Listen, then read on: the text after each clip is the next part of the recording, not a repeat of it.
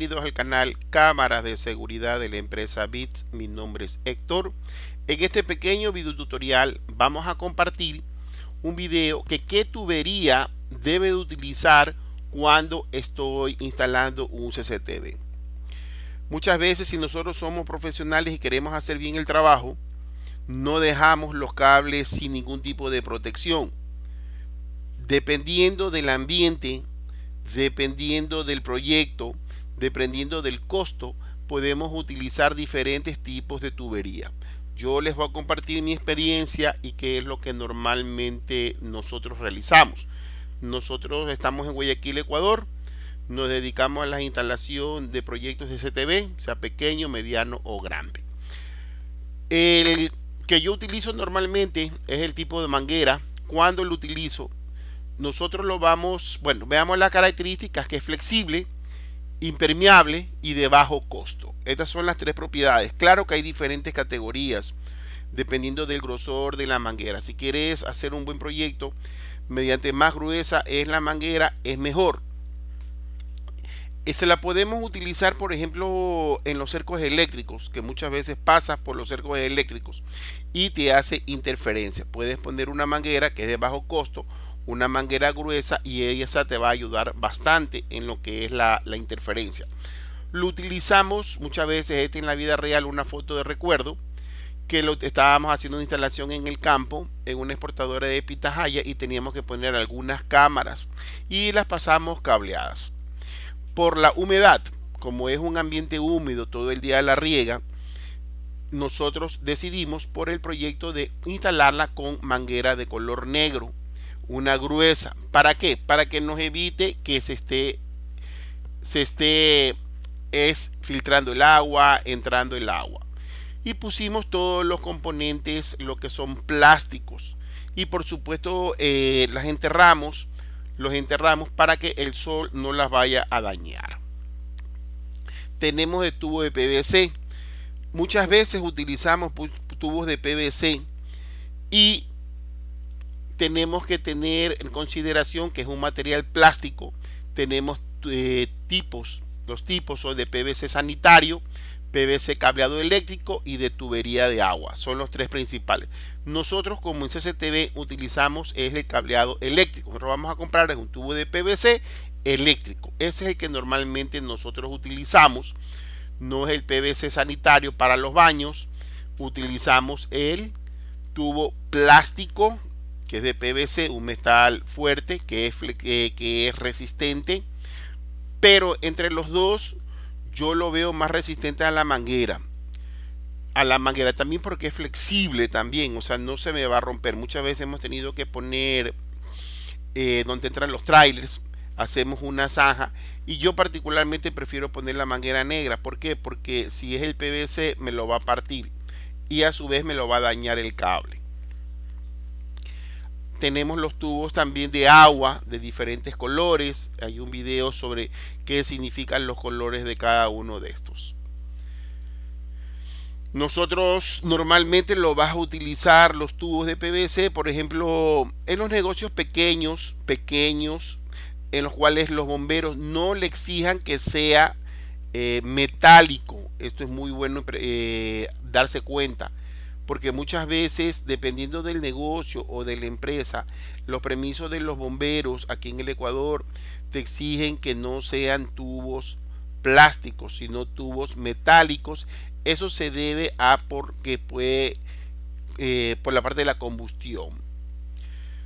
Aquí instalamos en una ciudadela unas cámaras con unas antenas eh, Ubiquiti y decidimos cuando llegamos no tenía ningún tipo de protección para nada lo habían dejado los cables sueltos. Nosotros le pusimos manguera corrugada metálica, me acuerdo, si no me equivoco, y pusimos tubo de PVC para protegerlo a los equipos. Lo mejor que puedes colocar en CCTV son tubos Condic o de conducto. Esos son los tubos metálicos, ¿no verdad? Son de acero galvanizado o pueden de ser de aluminio. Existen dos tipos, dos tipos. ¿Cuándo lo vamos a utilizar? Eh, ya vamos a ver los tipos. Ya lo vamos a ver los tipos. Por lo general, nosotros lo utilizamos son en las empresas, en las bodegas, ¿Por qué? Porque uno se da cuenta, apenas uno llega a hacer la inspección, te das cuenta que todo lo que ellos tienen es tubo metálico, no tienen tubo plásticos. Entonces pasar un tubo de PVC como que no es lógico, porque sabe cuando venga la inspección de los bomberos le van a decir, no señor, eso no es, tiene que cambiarlo. En bodegas, en todo principalmente lo que es almacenaje, te va a pedir o solicitar que sean metálicos. Dentro de los metálicos hay unos metálicos que son más gruesos y más finos. Normalmente nosotros utilizamos el tubo MT o EMT, ¿no verdad? Porque son se los pueden cortar con facilidad con la sierra o con la máquina, se los pueden doblar. De ahí viene un tubo un poquito más grueso, más grueso y otro que es mucho más grueso. Los que son el MT no es tan pesado, para comenzar con MT, no es tan pesado, lugares secos, húmedos, confinados, de alto peligro, etcétera. El que viene a ser metálico rígido, eléctrico, o también se le conoce como ERMCS, ese principalmente tú lo puedes colocar si lo necesitas en una bodega donde está cerca de la playa, donde hay alta corrosión. Es el ideal. ¿Por qué? Porque este tubo es hecho para resistencias a la corrupción. Es más pesado, es pesado, significa que no es fácil ponerlo. ¿Por qué? Porque es grueso.